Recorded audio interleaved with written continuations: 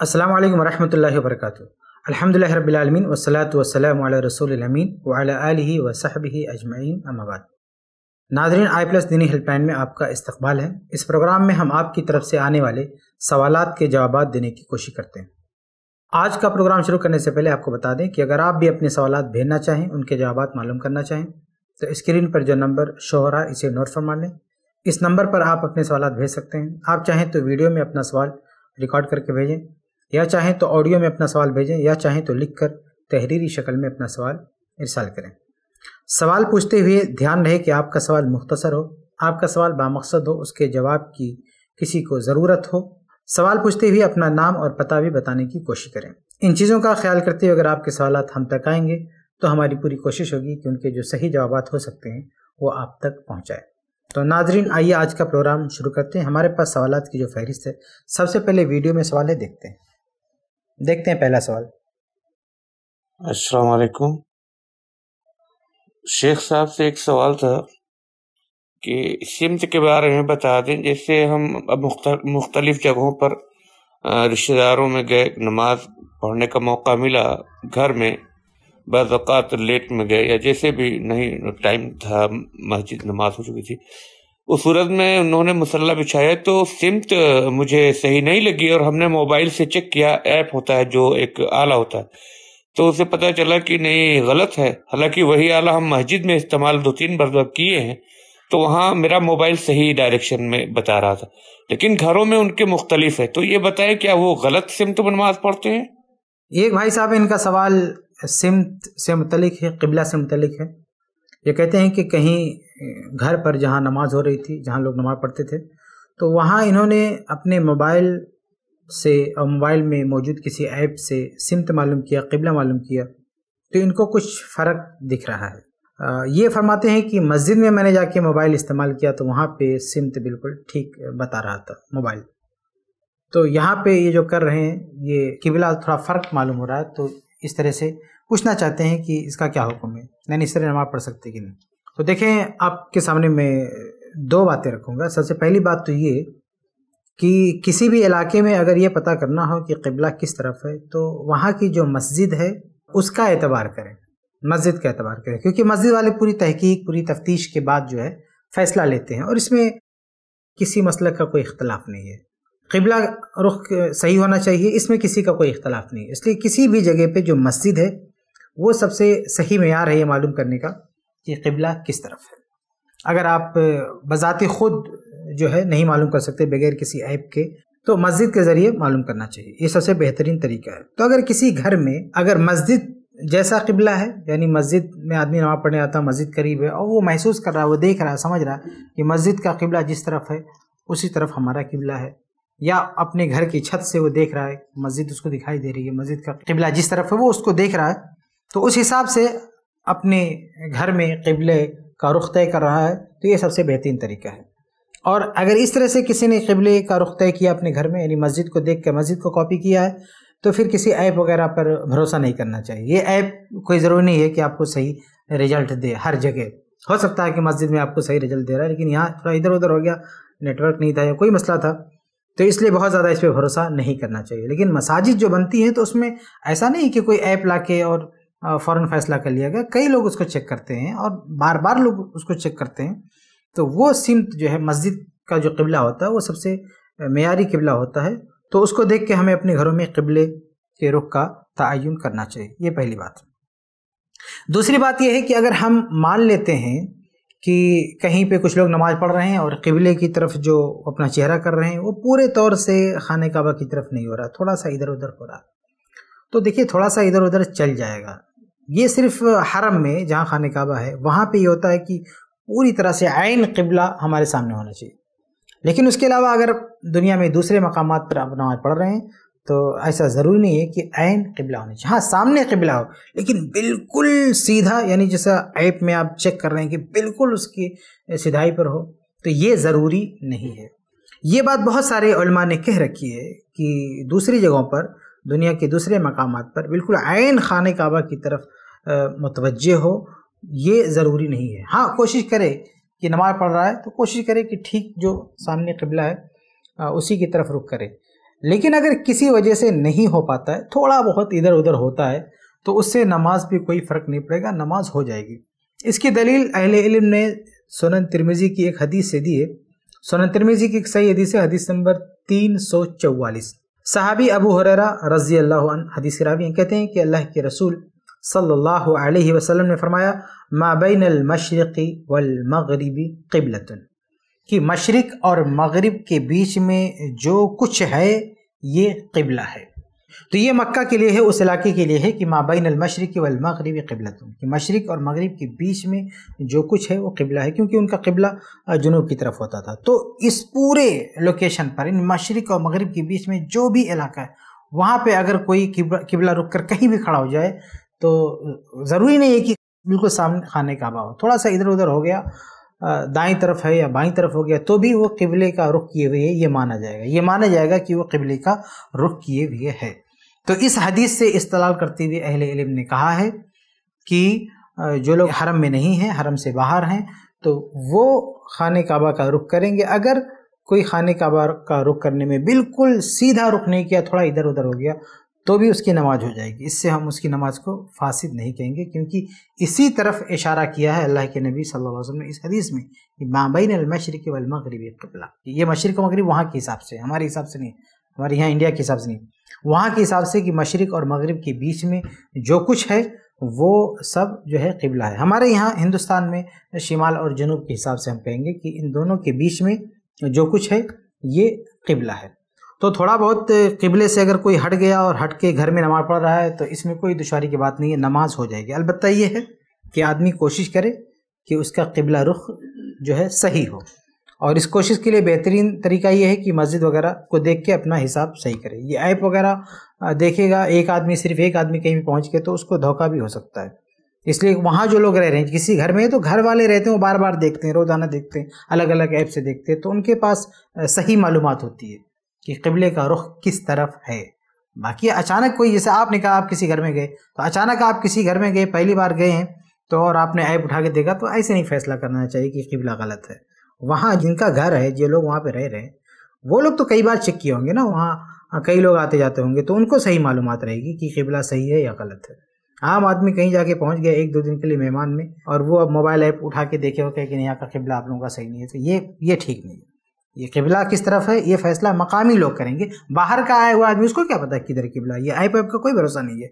कभी सही बताता है कभी इधर उधर बता देता है, इसलिए उस पर बहुत ज़्यादा अहतमाद नहीं करना चाहिए।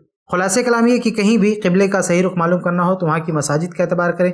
वहाँ पे जो लोकल लोग हैं, उनके तजर्बे का, उनके मुशाहे का और उनके कैलकुलेशन का हिसाब करें। बाहर से आया हुआ आदमी, खाए मखाए वहाँ पर जो है आई पे आप लेके ये ना तय करे कि कहाँ किबला है, कहाँ किबला नहीं है। दूसरी बात यह है कि अगर कहीं पर भी कोई किबले के रुख के तयन में अगर थोड़ा बहुत गलती करता है, इधर उधर हो जाता है तो उससे कोई फ़र्क नहीं पड़ेगा, उसकी नमाज़ हो जाएगी। उम्मीद है कि आपको जवाब मिल गया होगा। आगे बढ़ते हैं, अगला सवाल देखते हैं। असलकुम आज हिंदुस्तान में गुड़गांव में मुसलमानों को ऑफ़र किया गया कि आप गुरुद्वारा में आकर नमाज़ पढ़िए। मुसलमानों ने जुमा की नमाज़ वहाँ पढ़ी। सिख सिख भाइयों ने ही इसका दावत दिया। तो मुसलमानों ने पढ़ा, मेरा सवाल ये है कि क्या ये जायज़ है? क्या ये दुरुस्त है? सही है कि जुमा की नमाज़ गुरुद्वारा में पढ़ी जाए? क्या वो पाक है? भाई साहब, का सवाल ये है कि कुछ जगहों पर अभी जल्दी सिख हजरात ने उनका जो अपना माबद है गुरुद्वारा क्या है उनका? जहाँ पे वो लोग इबादत करते हैं या क्या करते हैं, सिख लोगों की जो इबादतगाह है तो उन लोगों ने ऑफ़र किया मुसलमानों की कि आप लोग यहाँ पे जुमा की नमाज़ पढ़ें। तो कुछ लोगों ने वहाँ पे जुमा की नमाज़ पढ़ी है तो ऐसी जगह पे जुमा की नमाज़ हो सकती कि नहीं? तो देखिए, इसी से मिलता जुलता मसला ये है कि गिरजा घर में, कनीसा वगैरह में नमाज़ हो सकती कि नहीं? तो इस सिलसिले में इमाम बुखारी रहमुल्ला ने सही बुखारी में एक बाब काम किया है बाब सलाती फिल बियाती। यानी गिरजा घर में नमाज़ का हुक्म। उसके बाद इमाम बुखारी रहमल्ला ने असर पेश किया है उमर फारूक रज़ी का और अब्दुल्ला बिन अब्बास रज़ी का। कहते हैं, वक़ाल उमर रज़ी कि उमर रज़ी फरमाते हैं इन नदखुल इसकुम मिन अजल तमासील लतीफ़ी हसवा कि हम आपके कनीसा में इसलिए दाखिल नहीं होते, क्योंकि उसमें तिमसाल है, जिसकी शक्ल तस्वीर की है, इसलिए हम उसमें दाखिल नहीं होते। वकान इबन अब्बास रज़ी यसली फ़िल बियाती कि अब्दुल्ला बिन अब्बास रज़ी ये गिरजाघर में नमाज़ पढ़ लेते थे, इल्ला बिअतन फ़ीहा तमासिल सिवाय उन गिरजा घरों के, बिया यानी, जो ईसाइयों का जो माबद है, इबादत खाना है।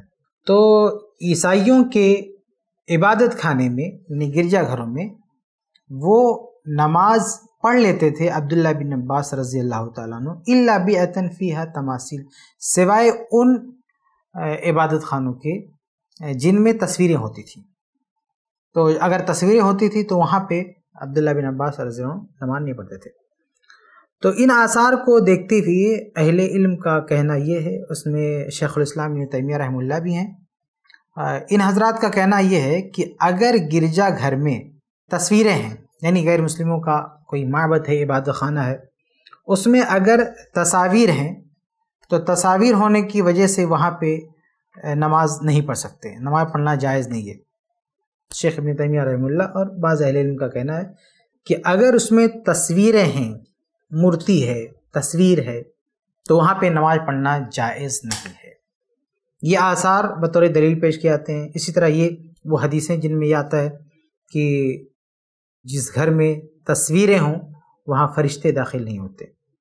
इसी तरह से वो हदीसें जिनमें ये ज़िक्र है कि जो पहली उम्मतें थीं, इन्होंने अपनी अम्बिया की कब्रों को मस्जिद बना लिया, या वो हदीसें जिनमें कब्रों को मस्जिद बनाने से रोका गया है तो वहाँ चूँकि एक शख्स की तदफीन हुई होती है तो वहाँ पे नमाज़ पढ़ने से मना किया गया, उसको मस्जिद बनाने से मना किया गया तो ये भी उससे मिलती जुलती बात है कि एक शख्स की तस्वीर लगी हुई वहाँ। तो अगर तस्वीर है, मूर्तियाँ हैं तो ऐसी जगहों पे नमाज़ पढ़ना जायज़ नहीं है, ये बाज़ इल्म का कहना है कि जायज़ नहीं है। और अगर वहाँ पे तस्वीर नहीं है तो फिर जायज़ है। जैसा कि अब्दुल्ला अब्बास रज़ी से मनकुल और बहुत सारे अहल इल्म ने कहा है कि अगर ईसाइयों के या किसी भी गैर मज़हब के इबादत खाने में तस्वीरें नहीं हैं, मूर्तियाँ नहीं हैं, बस ऐसे वो अपने तौर से इबादत करते हैं तो वहाँ नमाज़ पढ़ी जा सकती है, कोई मसला नहीं। तस्वीरें होंगी तो नमाज़ पढ़ना जायज़ नहीं। तो ये एक बात है। दूसरी बात यह है कि अगर किसी ने ऐसी जगहों पर नमाज़ पढ़ लिया तो अहल इल्म कहते हैं कि उनकी नमाज़ जो है बातिल नहीं होगी। कहते हैं अगर पढ़ लिया तो नमाज़ पढ़ना ये मकरू है। बवक्त ज़रूरत, यानी कोई आफत आ गई, कोई मसला आ गया, कोई बात आ गई, और कभी इतफाक़ से किसी ने पढ़ लिया तो गरचे ये पसंदीदा नहीं है, बेहतर नहीं है, लेकिन अगर मजबूरी में पढ़ लिया तो नमाज़ हो जाएगी। उनका मकसद उन तस्वीरों की पूजा करना नहीं है। उन तस्वीरों के लिए नमाज़ पढ़ना नहीं है। तो किसी ने मजबूरी में अगर पढ़ लिया तो बाज़ ने कहा है, नमाज़ यहाँ पे सही हो जाएगी। शेख अबन उसमिन रहमुल्ला का भी यही कहना है कि अम्म सलात फ़सही है कि जहाँ तक नमाज़ की बात है तो नमाज़ सही हो जाएगी, लेकिन ऐसी जगहों पर जहाँ पे तस्वीरें हैं, वहाँ नमाज़ पढ़ना ये पसंदीदा नहीं है। गैर मुनासिब है। इल्ला हाजती, मगर ये कि जब ज़रूरत हो, कोई मसला पड़ जाए। तो ये जो आपने सवाल किया है कि कहीं पे सिख हजरात ने ऑफ़र किया है कि यहाँ पे नमाज़ पढ़ लें तो जहाँ पे उन लोगों ने ऑफ़र किया है, उन हजरात का जो माबत है, इबादत खाना है, इबादत घर है, वहाँ पे अगर तस्वीरें हैं तो वहाँ पे नमाज़ नहीं पढ़ना चाहिए। लेकिन अगर तस्वीरें नहीं हैं तो वहाँ पे नमाज़ पढ़ सकते हैं। लेकिन साथ ही साथ ये भी कि अगर कोई मजबूरी है घर से तस्वीरें हैं, कोई मजबूरी है, कोई ऐसा मसला आ गया, इत्तेफाक से कोई जगह नहीं है, इत्तेफाक से कभी एक आध बार पढ़ने की ज़रूरत पड़ गई तो आप वहाँ पे पढ़ सकते हैं। मजबूरी में वहाँ नमाज़ पढ़ने की गुंजाइश है, जैसा कि शेख अब्न रहमल्ला ने कहा है। बहरहाल, मुसलमानों को कोशिश यही करनी चाहिए कि ऐसी नौबत ना आए। उनकी अपनी मस्जिद होनी चाहिए, मस्जिद का इंतज़ाम होना चाहिए और ऐसी नौबत नहीं आनी चाहिए कि वहाँ पे जाके नमाज़ पढ़ना पड़े। क्योंकि आम तौर से जो दूसरों के इबादत खाने होते हैं, आज आम तौर से वहाँ पे तस्वीरें या मूर्तियाँ, ऐसी कुछ चीज़ें तो होती हैं। तस्वीर से, मूर्तियों से वो इबादत खाने पाक हों बिल्कुल पाक साफ़ हों ऐसा तो बड़ा आ, मुश्किल है। इसलिए कोशिश यही होनी चाहिए मुसलमानों की कि ऐसे हालात पेश ना आए। उम्मीद है कि आपका जवाब मिल गया होगा। आगे बढ़ते हैं अगला सवाल देखते हैं। अस्सलाम वालेकुम वरहमतुल्लाहि वबरकातुहू। जी शेख मोहतरम मैं मोहम्मद अदनान पाकिस्तान के शहर जलालपुर पीर वाला से बात कर रहा हूँ। जी शेख मोहतरम मेरा एक छोटा सा सवाल है कि मस्जिद में हम जाते हैं तो मस्जिद में जो इमाम की जान नमाज़ होती है, जहाँ पे इमाम नमाज़ पढ़ाता है, जमात के साथ तो कोई और उनकी जान नमाज़ लेके मतलब पीछे खड़ा हो के कोई बंदा जब जमात हो जाए, कोई जा नमाज़ उनकी लेके नमाज़ उस पर अदा कर सकता है। क्योंकि मैं, कोई किसी ने ना ऐसे किया तो किसी ने रोका तो इस वजह से मैं इसकी वजाहत चाहता हूँ आपसे, शेख मोहतरम। अस्सलाम वालेकुम रहमतुल्लाह ये एक भाई साहब है, इनका सवाल ये है कि मस्जिद का जो इमाम है, उसकी जो जाय नमाज़ ख़ास होती है, उसको लेके दूसरा कोई नमाज़ पढ़ सकता है कि नहीं? शायद इन्होंने कभी ऐसा किया, या किसी ने किया तो कुछ लोगों ने इसको टोका है। तो देखिए भाई, आजकल मसाजिद में तो चटाइयाँ बिछी होती हैं, दरी होती हैं, और बहुत सारी चीज़ें होती हैं। ऐसी क्या ज़रूरत पड़ जाती है कि आप इमाम साहब का जो ख़ास मसल्ला है, उसको लेके आप पीछे लेके नमाज़ पढ़ें? इसकी क्या ज़रूरत है? इमाम साहब तो ऐसे ही हमारे इतने मजलूम होते हैं। कम से कम अगर उनके लिए किसी ने मसल्ला कुछ रख दिया है तो हम ही नहीं कहते, देखिए जो दो चार मसले रखे रहते हैं, बहुत ही कीमती तकल्फ़ात की ज़रूरत नहीं, हम नहीं कहते ये सब सही है। एक नॉर्मल सी कोई चटाई या मसला रखा जाए तो कोई मसला नहीं। लेकिन जो कुछ भी इमाम साहब के लिए ख़ास करके रख दिया गया है तो क्यों मुसली उसको उठा के नमाज़ पढ़ रहा भाई? इसमें हलाल हराम की बात नहीं है कि उसको किसी ने लेके नमाज़ पढ़ लिया तो ये चीज़ हराम है या ना चाहिए इसमें हलाल और हराम की बात नहीं, बात इंतज़ाम की है। कि मस्जिद में एक सेटअप बना हुआ है कि इमाम साहब की एक ख़ास जगह है और उनके लिए एक ख़ास जो है मसल्ला है। बाकी आम मुसलियान के लिए चटाई है या दूसरी चीज़ें हैं। तो आम मुसली है तो अपनी जगह पर कहीं भी खड़ा होकर नमाज़ पढ़ लेगा। इमाम साहब की जाए नमाज़ उठाने की क्या ज़रूरत है? ये चीज़ मेरी समझ से बाहर है कि इसमें सवाल कैसे बनता है किसी से पूछने का। एक आम फहम बात है कि ये इंतज़ामी मसला है। कि मस्जिद की इंतज़ामिया ने इमाम के लिए एक इंतज़ाम किया, उसे इमाम के लिए रहने दीजिए। और बाकी जो आम मुसलियों के लिए जो चीज़ है, वो आम मुसली आके वहाँ कहीं भी नमाज़ पढ़े। बाकी ये कि अगर किसी ने उठा के लेके नमाज़ पढ़ लिया तो हम ये नहीं कहते हराम और नाजायज पढ़ लिया तो पढ़ लिया। लेकिन अगर मस्जिद की इंतज़ामिया इसकी इजाज़त नहीं देती तो आपको ऐसा नहीं करना चाहिए। हर मस्जिद का एक निज़ाम होता है, एक सिस्टम होता है। ये इंतज़ामी उमूर से ताल्लुक़ रखता है तो इंतज़ामी उमूर में जैसा इंतज़ाम कर दिया जाए, जैसे कवानीन बना दिए जाए, जैसा दस्तूर बना दिया जाए, उसको हर एक को फॉलो करना चाहिए। क्योंकि अगर कोई मुंतजिम नहीं होगा, कोई निज़ाम नहीं होगा, कोई दस्तूर नहीं होगा तो फिर फितना खड़ा होगा। इससे निज़ाम होना भी ज़रूरी है, दस्तूर होना भी ज़रूरी है। तो अगर ऐसा कोई निज़ाम बना है, मस्जिद की इंतज़ामिया ने, कमेटी ने कोई इंतज़ाम किया है तो उसका लिहाज करना चाहिए। और उनके जो कायदे और कवानीन हैं, उनकी खिलाफ वर्जी नहीं करना चाहिए। देखिए, बहुत सारी मसाजिद में लिखा होता है, यहाँ कोई शख्स बगैर इंतज़ामिया की इजाज़त के किसी किस्म का कोई ऐलान नहीं कर सकता। ये मामला इंतज़ाम से ताल्लुक़ रखता है। अब यहाँ पे ये सवाल नहीं बनता है कि इंतज़ामिया से पूछे बगैर मस्जिद में ऐलान करना जायज़ है या नाजायज़ है, ये सवाल नहीं बनता है। ये इंतज़ाम से मतलब चीज़ है। एक निज़ाम बना दिया गया तो आपको उसको फॉलो करना चाहिए, ठीक है? तो असलन गर्चे बहुत सारी चीज़ें जायज़ हों, लेकिन जब एक इंतज़ाम बना दिया गया, एक निज़ाम बन गया है, कुछ चीज़ें कुछ लोगों के लिए या कुछ जगहों के लिए ख़ास कर दी गई हैं तो उसका ख्याल रखना चाहिए। उम्मीद है कि बात आपके लिए वाजह हो गई होगी। आगे बढ़ते हैं, अगला सवाल देखते हैं। असलकम वरहमतुल्लाहि वबरकatuh मेरा नाम सरवर आलम है, मैं भिवंडी से हूँ। मेरा एक सवाल है, किसी ने कर्ज़ा लिया हो और उसकी पूरी नीयत है देने की, पर वो देने से पहले उसका इंतकाल हो गया तो इस सूरत हाल में क्या करना चाहिए? ये सरवर आलम भाई हैं, भिवंडी से सवाल कर रहे हैं। इनका पूछना यह है कि किसी ने कर्जा लिया था, उसकी पूरी नीयत थी कि कर्ज अदा कर देगा, लेकिन अदायगी से पहले इत्तेफाक से फोत हो गया, इंतकाल कर गया तो अब उसके साथ क्या करना चाहिए? बहुत ही वाज जवाब है कि उसकी जो जायदाद है, उसकी जो प्रॉपर्टी है, उसमें से वो कर्जा पहले अदा किया जाएगा, फिर उसके वारिसिन को वो चीज़ मिलेगी। कोई भी मरेगा तो उसका कुछ तो प्रॉपर्टी होगी, उसका कुछ बैंक बैलेंस होगा, या कम से कम उसकी कोई बाइक है मोटरसाइकिल है, उसके पास कोई मोबाइल है, उसके पास कपड़े हैं, या अपने बाप से आबाई प्रॉपर्टी उसको मिली है, ज़मीन मिली है, घर मिला है, कुछ तो उसके पास होगा, कुछ तो उसके पास होगा। तो जो कुछ उसके पास होगा, ये चीज़ें उसको अदा की जाएँगी जिससे इसने लिया था। विरासत जब किसी के मरने के बाद उसकी विरासत बढ़ती है तो उसके कफन दफन में जो खर्चा लगता है वो पहले माइनस किया जाता है। उसके बाद दूसरे नंबर पर विरासत बांटने से पहले जो चीज़ अदा की जाती है वो कर्ज है। यानी मरने वाला अगर किसी का पैसा बाकी है तो सबसे पहले वो कर्ज अदा किया जाता है। तो ये बहुत ही वाजह जवाब है आपके सवाल का।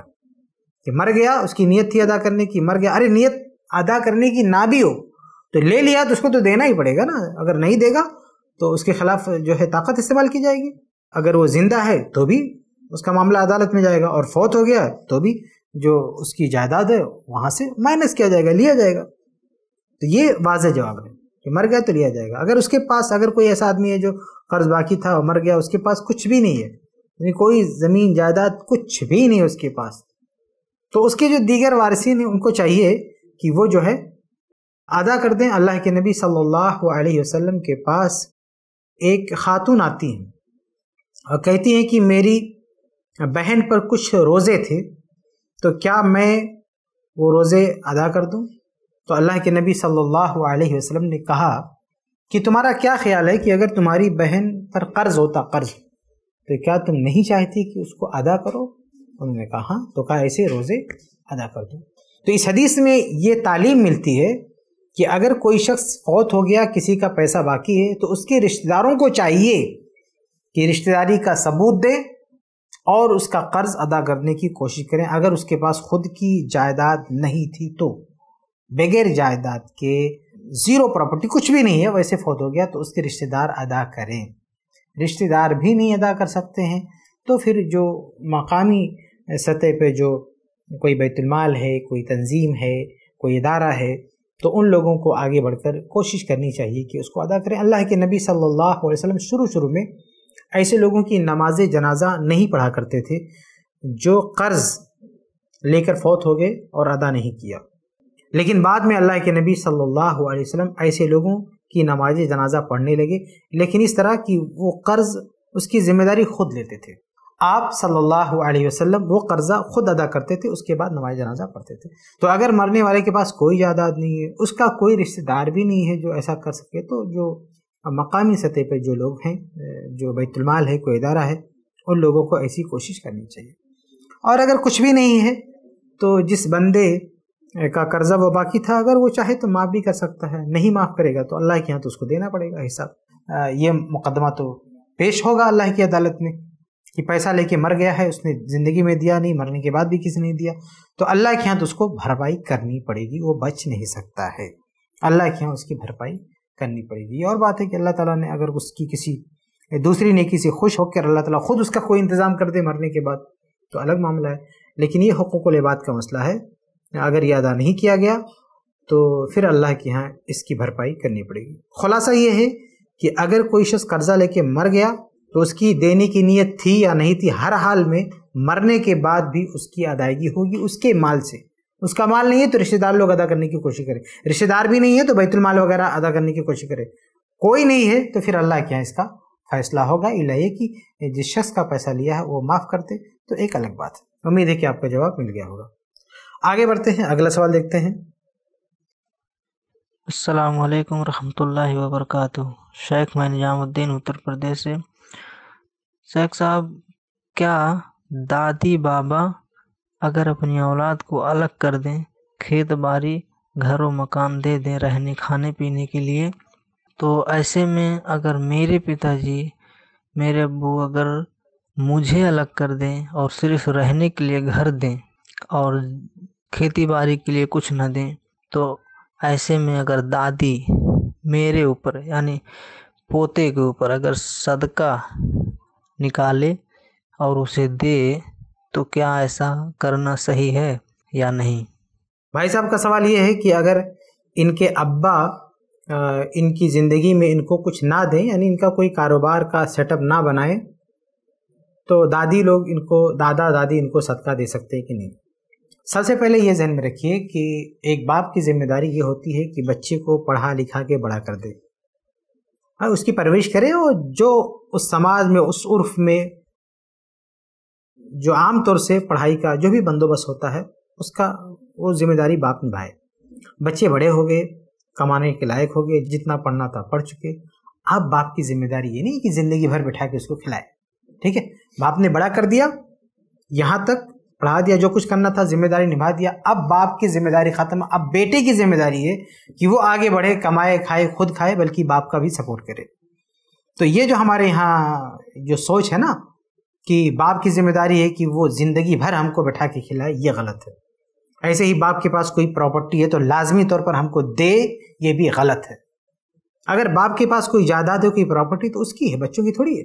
हाँ बाप अगर मर जाता है, तब बच्चों को मिलता है। ऐसा थोड़ी कि बाप ज़िंदा है, उसकी जायदाद है तो उसकी जायदाद में बच्चों का हिस्सा ना। बाप जब तक ज़िंदा है, उसकी जायदाद में बच्चों का कुछ भी हक नहीं होता। तो आप जो सवाल कर रहे हैं, आप सबसे पहले ये जहन में लीजिए कि आपके अब्बा की जायदाद में आपका कोई हिस्सा नहीं है, कुछ भी नहीं है, जब तक आपके अब्बा ज़िंदा हैं। आपके अब्बा का इंतकाल हो जाएगा, तब आपका हिस्सा बनेगा। अगर आपके अब्बा ने माल छोड़ा होगा तो। लेकिन अगर आपके अब्बा ज़िंदा हैं तो उनकी हयात में, उनकी ज़िंदगी में, उनके माल में आपका कोई हक नहीं है।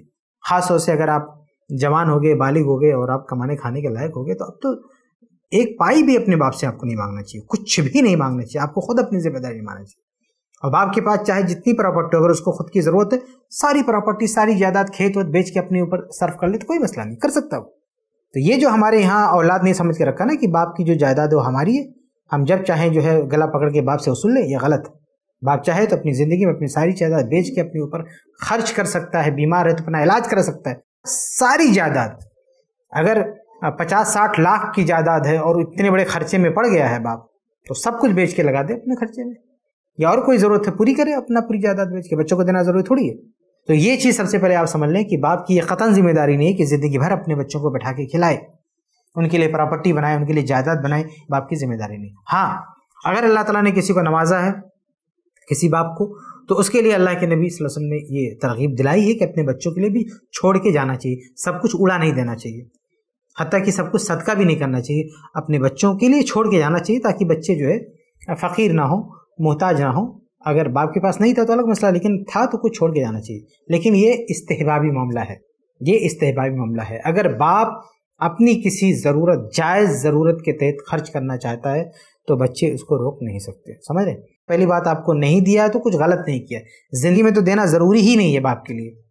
तो अगर ज़िंदगी में आपको कुछ नहीं दे रहा तो कोई गलत नहीं कर रहा। और अगर अपनी ज़्यादा ज़िंदगी ही में किसी वजह से खर्चा कर दे रहा है, यानी मरने के बाद छोड़ के भी नहीं जा रहा, खर्चा कर रहा, तब भी कुछ गलत नहीं कर रहा है। अब रहा मसला ये कि अगर आपको कुछ नहीं मिल रहा है अपने अब्बा से तो आप कह रहे हैं कि दादी, बाबा सदका कर सकते हैं कि नहीं कर सकते तो देखें, दादी, बाबा के सदके से आपका कौन सा सदका मुराद है? क्या वो फ़र्ज़ ज़क़़त मुराद है? जो सालाना आमतौर से ढाई फ़ीसद, यानी पैसे वगैरह में ढाई फ़ीसद की ज़क़़त निकाली जाती है, जो फ़र्ज़ ज़क़़त है। अगर सदके से मुराद आपकी ये ज़क़़त है तो ये आपको आपके दादा दादी तभी दे सकते हैं। आपके बाप वाले साहब ज़िंदा हैं, उनकी ज़िम्मेदारी है। आपके दादा की ज़िम्मेदारी तो नहीं है। लेकिन अगर किसी वजह से आपके अब्बा नहीं कर पा रहे हैं, कोई मसला है तो दादा दादी मतलब बाज़ हालात में ज़क़़त दे सकते हैं। बशर्ती कि वो औलाद जो है वो पोता पोती मुस्तक हो फ़कीर हो मिसकिन हो। यानी फ़कीर मिसकिन है बड़े हो गए उसके बावजूद भी फ़कीर मिसकिन है कोई अपाहिज है हाथ पैर कटा है लूला लंगड़े हैं कुछ नहीं कर सकते हैं ऐसे बैठे हुए हैं तो भीख मांगने के अलावा कोई चारा नहीं है। या मान लीजिए कुछ काम करना चाहते हैं लेकिन फ्लाप हो जा रहे हैं कुछ नहीं कर पा रहे हैं आ, उनके मुकदर में कुछ है नहीं बिल्कुल ही उनका हाथ खाली है फ़कीर है मोहताज है। तो ऐसी कंडीशन में दे सकते हैं उनको। अगर वो ज़क़़त खाने के हकदार हैं, उस कंडीशन में फ़कीर और मिसकिन के ज़मरे में आते हैं तो बाज़ हालतों में जब कोई रास्ता ना हो, मजबूरी है तो दे सकते हैं। कोई ऐसा इजाफी खर्चा आ गया कि बाप के बस का नहीं नहीं उठा सकता है तो चलो दादा के पास जो ज़क़़त वाली रकम है, वहाँ से दे सकता है। ठीक है? लेकिन अगर आपके हाथ पैर सलामत हैं, आप कमा खा सकते हैं, आपके पास अच्छा खासा सोर्स ऑफ़ इनकम है, सब कुछ है, उसके बावजूद भी चाहते हैं कि दादा दादी आपको जक़ात दे, तब तो फ़र्ज़ जक़ात तो नहीं दे सकते कतन नहीं दे सकते आपको। अगर आप फ़कीर, मिसकीन नहीं है तो आपको नहीं दे सकते।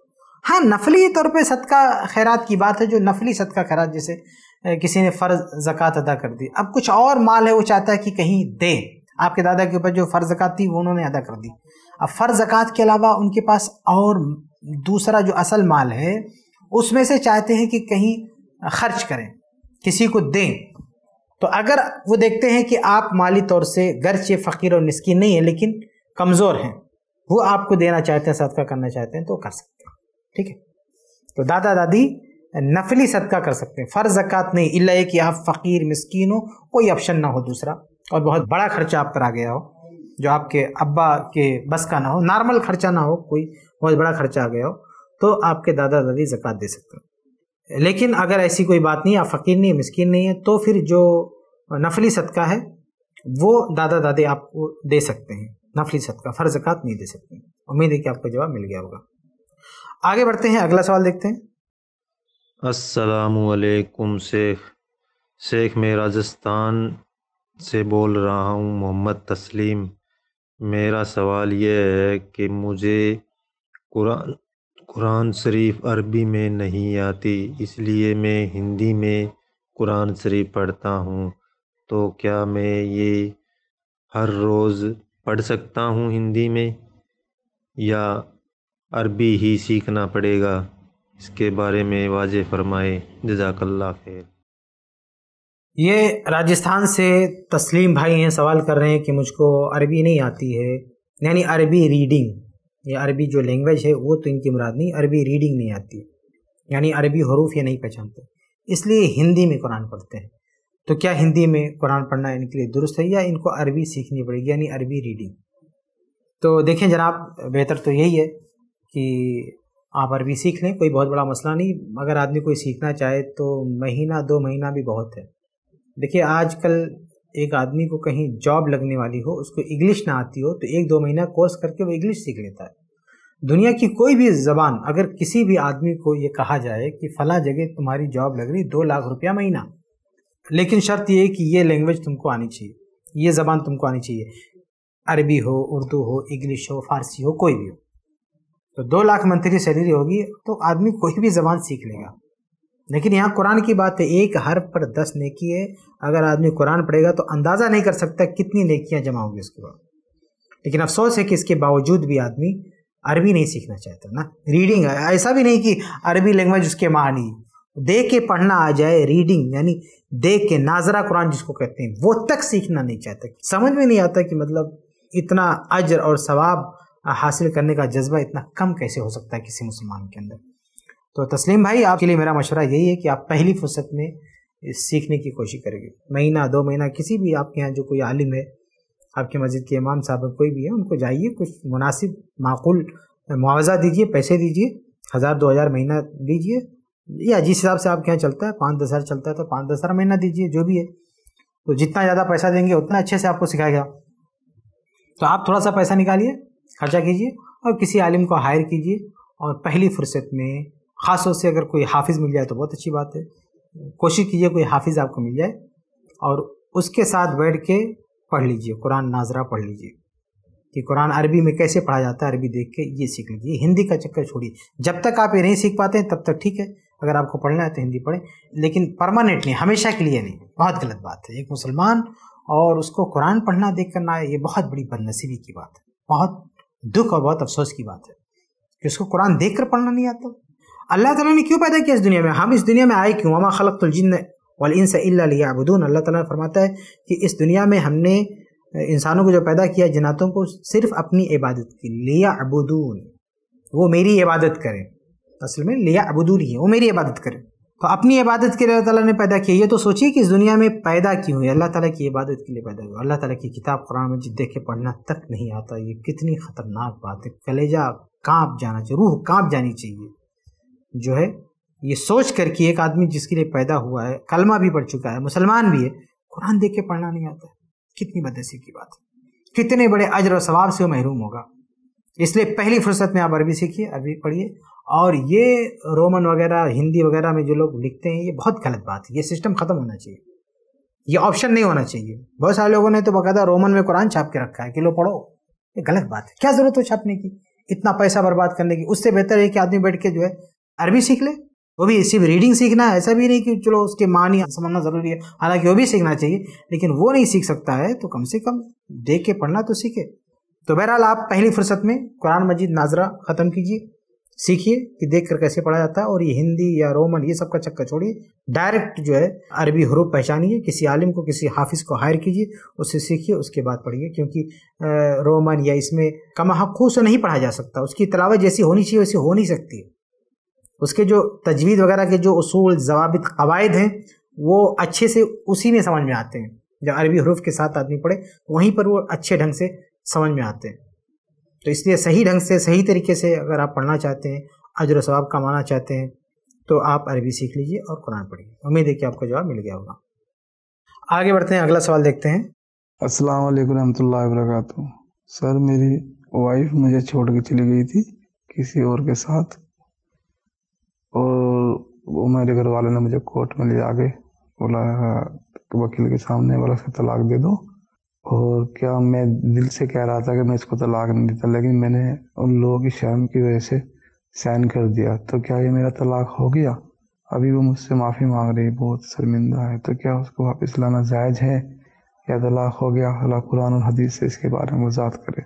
साकल्ला खैर। अस्सलाम वालेकुम रहमतुल्लाहि व एक भाई साहब हैं, ये कह रहे हैं कि इनकी वाइफ किसी के साथ चली गई थी तो ऐसे कुछ इख्तलाफात हुए तो इनके घर वालों ने ले जाके जो है, तलाक दिलवा दिया कहीं पे कि कहा कि आप तलाक दो। ये कहना चाहते हैं कि शायद मैं तैयार नहीं था और लोगों के कहने पर मैंने तलाक दे दिया। अब इनकी बीवी वापस आना चाहती है, माफ़ी मांगती है और शायद ये भी उसको वापस लेना चाहते हैं। पूछना ये है कि वो तलाक हुई कि नहीं? तो देखिए, इतनी मुख्तसर बात आप कहेंगे तो कैसे कोई बता सकता है तलाक हुई कि नहीं? तलाक किस कंडीशन में दी गई? औरत की क्या कंडीशन थी? पाक थी, नापाक थी? क्या मामला था? आपके साथ थी, मैं के मेरे थी? क्या? ये कुछ, कोई कंडीशन आपने नहीं बताई। तो ऐसे नहीं जवाब हो पाता है। आप ऐसा कीजिए कि आप जहाँ पर हैं, वहाँ पे जो आपके मकामी आलिम साहब हैं, उनके पास जाइए, सारी बातें बताइए, ख़ासतौर से आपके मस्जिद के इमाम साहब हैं, या जो भी कोई अदारा है, वहाँ पे हैं। और ऐसा कुछ नहीं तो आप सफ़र करके जाए, किसी दूसरी जगह पे, दूसरे शहर में अगर कोई आलिम है तो कोई दारुलिफ्ता है तो वहाँ पर आप जाएँ और आप सारी तफसीलात लिख कर दें, उसके बाद जो है आप जवाब हासिल करें। यहाँ बात आपने बहुत ही मुख्तसर कही है। अलबत्त एक चीज़ आपके सामने वाजे करूँगा कि ये जो आपने कहने की कोशिश की है कि आप ये कहना चाहते हैं कि आप मजबूर थे, लोगों के दबाव में आके तलाक दे दिया है। तो इसका कोई एतबार नहीं, इसको मजबूरी नहीं कहते हैं। ऐसा नहीं है कि आप तलाक नहीं देते तो कोई आपकी गर्दन मार देता, कोई जान से मार देता, ऐसा कुछ भी नहीं है। बस लोगों ने फोर्स किया, आपने तलाक दे दिया। तो अगर तलाक की सारी शर्तें पाई जाती तो तलाक हो जाएगी। आप ये बहाना नहीं कर सकते कि नहीं, वो तो उनके कहने पे दे। किसी के भी कहने पे दिया आपने। किसी भी कहने पे दिया आपने। आपके पास पाँच लाख रखा हो, किसी कहने से आप दे देंगे। आपके अकाउंट में पाँच लाख रखा हो और कोई आदमी कहे कि, दो तीन लोग कहें, आपके रिश्तेदार कुछ भी चल चल निकाल के दे, निकाल के दे, एटीएम से निकाल के हमको दे दे। आप निकाल के दे देंगे, नहीं देंगे? तो तलाक कैसे दे दिया आपने? तो ये हमारे यहाँ लोग जो है तलाक दे देते हैं धड़ाधड़, बेगैर सोचे समझे। और बाद में कहते नहीं, फलां के कहने पे, फलां के उकसाने पे तलाक दिया था। शायद ये कहना चाहते हैं कि हम मजबूर थे। इसमें मजबूरी का कोई एतबार नहीं। आप मजबूर नहीं थे। किसी ने आपसे कहा, आपको तरगीब दिलाई या आपको उकसाया और आप उनकी बातों में आ गए, आपने तलाक दे दिया, तलाक हो गई, खलास, मामला ख़त्म, ठीक है? अगर ऐसा है तो यानी तलाक की दीगर शर्तें पाई जाती हैं तो तलाक हो गई। अब कितनी तलाक दी थी आपने? वो भी एक मसला होगा, ये सारी बातें आपने नहीं बताई। इससे पहले भी आपने तलाक दी थी कि नहीं दी थी? अगर ये तीसरी तलाक है तो ख़त्म, किस्सा ख़त्म? आप फिर उससे शादी नहीं कर सकते। और पहली बार आपने ऐसा किया है और एक ही तलाक दिया है और एक तलाक हो गई है तो फिर आप दोबारा शादी करना चाहें तो कर सकते हैं। अगर वो तोबा करने के लिए तैयार है, आप उसको रखना चाहते हैं, कर सकते हैं। लेकिन ये सारी तफसील नहीं है हमारे सामने तो हम कुछ भी जवाब आपको नहीं दे सकते हैं। आप ऐसा कीजिए कि किसी मुफ्ती के पास जाइए और वहाँ सारी तफसीलात रखिए और वहाँ से क्या जवाब मिलता है, उसको आप सुनिए और उसके मुताबिक अमल कीजिए। यहाँ सिर्फ़ इतना बता सकता हूँ कि इसमें अगर आप ये कहना चाहते हैं कि मजबूरी है तो इसमें मजबूरी का कोई एतबार नहीं आपने होशो हौस में जाके तलाक दिया, अगर तलाक की शर्तें पाई जाती तो तलाक हो गई, ख़त्म किस्सा ख़त्म। आप यहाँ कोई बहाना मत बताइए कि फ़लाँ के कहने पे और फ़लाँ के ज़ोर देने पे हमने तलाक दिया है। किसी के कहने पर भी आपने तलाक दिया। कोई आदमी इतना मजबूर नहीं होता है कि वो जान से मार दिया जाए। अगर वहाँ पे जहाँ कोई ऐसा मसला हो कि भाई, चलो मार देगा कोई जान से, ऐसी कोई बात हो तो समझ में आता है। लेकिन ऐसे ही माँ बाप ये कोई भी बोल दिया और आपने तलाक दे दिया, बाद में क्या कि नहीं, हमको मजबूर किया गया था। इसका कोई एतबार नहीं। उम्मीद है कि इतनी चीज़ें आपके लिए वाजह होंगी। आगे बढ़ते हैं, अगला सवाल देखते हैं। अस्सलाम वालेकुम वरहमतुल्लाहि वबरकातुहू। शेख, मेरा नाम नवाब अली है। मैं मरादाबाद से बोल रहा हूँ। मेरा सवाल ये है कि कुछ मुसलमानों के यहाँ शादियाँ होती हैं, जैसे कि हनफी मसलक में। जब शादी होकर निबट जाती है तो वहाँ इमाम साहब को बुलाया जाता है और वो निकाह के लिए बुलाया जाता है। तो वो कलमे पढ़ाते हैं, जैसे कि पहला कलमा, दूसरा कलमा, तीसरा कलमा। क्या ये हमारे नबी करीम सल्लल्लाहु अलैहि वसल्लम से साबित है? कुरान और हदीस की रोशनी में जवाब दीजिए। एक भाई साहब का सवाल है, कहते हैं कि हमारे यहाँ जब निकाह होता है, कोई मौलाना साहब आके निकाह पढ़ाते हैं, ख़ासतौर से हनफी हजरात में। इन्होंने कहा है कि हनफी लोग ऐसा करते हैं। कि वो कलमा पढ़ाते हैं, दूल्हे को कलमा पढ़ाते हैं और अव्वल कलमा, दोम कलमा, सोम कलमा। तो क्या ये कुरान हदीस से साबित है? तो देखिए, कुरान हदीस से बिल्कुल साबित नहीं है कि निकाह के वक्त कलमा पढ़ाया जाए। ये पता नहीं कहाँ से लोगों ने ईजाद कर रखा है ये तरीका कि बवक्त निकाह उसको जो है कलमा पढ़ाते हैं। क्यों पढ़ाते हैं? मैं तो समझने से कासिर हूँ कि क्यों पढ़ाते हैं। भाई, वो मुसलमान है, पहले से कलमा गो है, मुसलमान है और उसको आप कलमा पढ़ा रहे हैं। अगर आपको शक था कि मुसलमान है कि नहीं तो पहले चेक करना चाहिए। आयन शादी के वक्त, आप ये देख रहे हैं कि मुसलमान है कि नहीं, उसको कलमा पढ़ा रहे हैं। तो ये गलत तरीका है। क्योंकि ये दिन से जुड़ी हुई बात है, कलमा पढ़ा रहे हैं, इसलिए ये बिदत है बिदत है। कुरान हदीस में इसका कोई सबूत नहीं है कि निकाह के बाद कलमा पढ़ा जाए। ये बिदत है, ऐसा नहीं करना चाहिए। और साथ में ये भी वाजह है कि जो आपने कहा ना कि अव्वल कलमा, दोम कलमा तो ये अव्वल कलमा, दोम कलमा, सोम कलमा, ये भी बेबुनियाद तकसीम आते हैं। कुरान और हदीस में या सलफ़ में ऐसी कोई तकसीम नहीं मिलती कि अव्वल कलमा, ये दोम कलमा, ये सोम कलमा, ये चारों कलमा, ऐसा कुछ भी नहीं मिलता। है, ये कह सकते हैं कि कलमा जो है, उसके सेगे अलग अलग हैं। कलमा ला इला मोहम्मद रसोल्ला फिर उसमें शहादत के अल्फाज आप जोड़ लें, फिर और कुछ अल्फाज जोड़ लें तो इस तरह से उसके सेगे अलग अलग हो सकते हैं। लेकिन अलग अलग सेगों की बुनियाद पर उसको अलग अलग नाम देना पहला और ये तरतीब बनाना, ये पहला है, ये दूसरा है, ये तीसरा है, ये बिल्कुल बेबुनियाद तकसीमत है। आदमी किसी भी सेगे में कलमा पढ़ ले, वो मुसलमान हो जाएगा। किसी भी सेगे में कलमा पढ़ ले। तो ये अव्वल, दोम, सोम चारों ये सब की कोई ज़रूरत नहीं है। ये सब पता नहीं कहाँ से लोगों ने बना रखा है। कुरान हदीस में इसका कोई नामो निशान नहीं ना सलफ़ के अखवाल में इसका कोई नामो निशान नहीं। इसलिए ये सब बेबुनियाद तकसीमत है। खुलासा ये कि शादी के मौके पर दूल्हे को कलमा पढ़ाना, ये बेबुनियाद बात है, ये बिदत है, ऐसा नहीं करना चाहिए।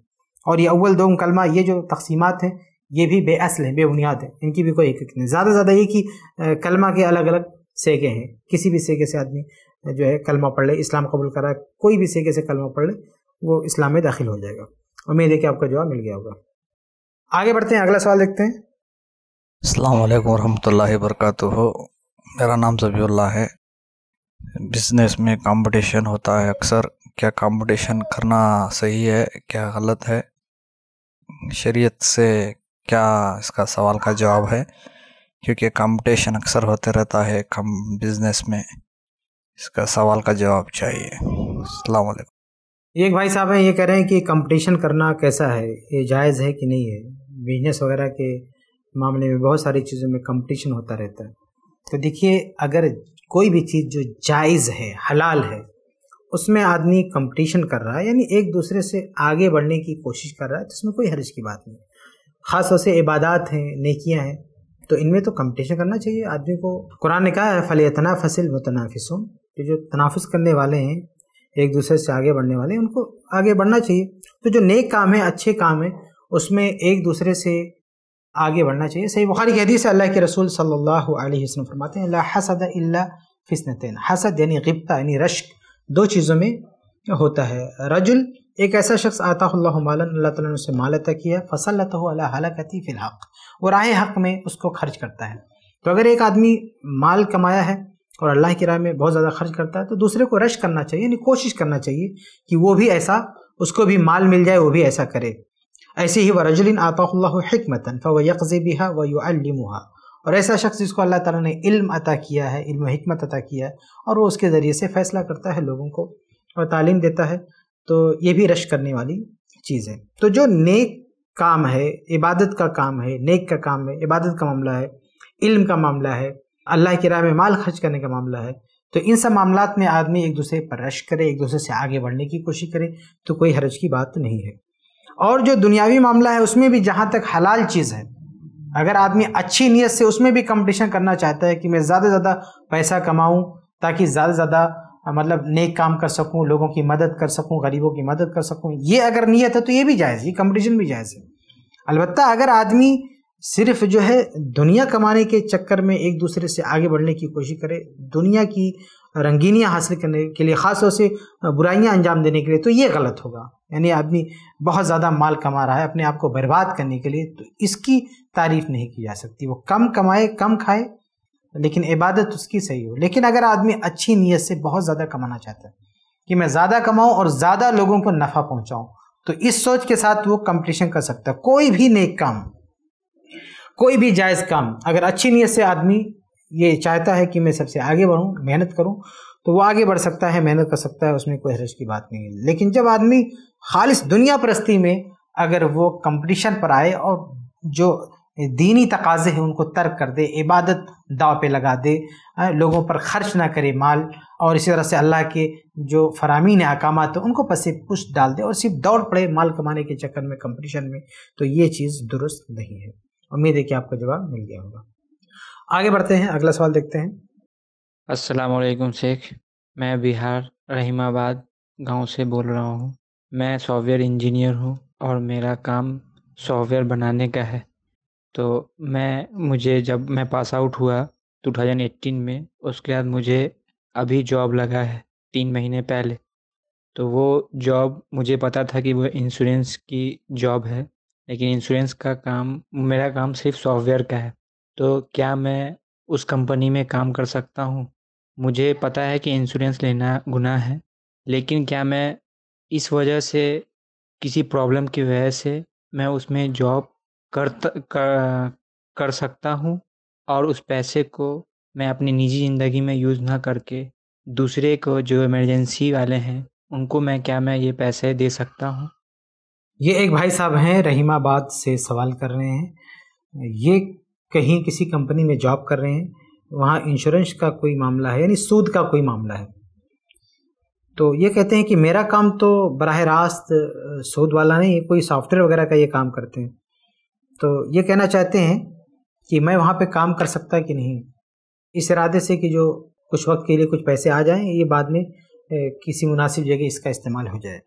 तो देखिए, अगर वो सूदी कंपनी है, वहाँ सूदी मसला होता है इंश्योरेंस वगैरह का मामला होता है तो आप बिल्कुल वहाँ पे काम नहीं कर सकते सूद का मसला सिर्फ़ ये नहीं कि जो खा रहा है, खिला रहा है, ये दोनों के लिए मना है, बल्कि बहुत सख्ती के साथ उससे जो शख्स भी जुड़ता है, सबको मना किया गया, बल्कि सब पर लानत की गई। सुन नसी की हदीस हदीस नंबर पाँच हज़ार एक सौ चार। उसके अल्फाज लाना रसूल सल्लल्लाहु अलैहि वसल्लम आकिल रिबा।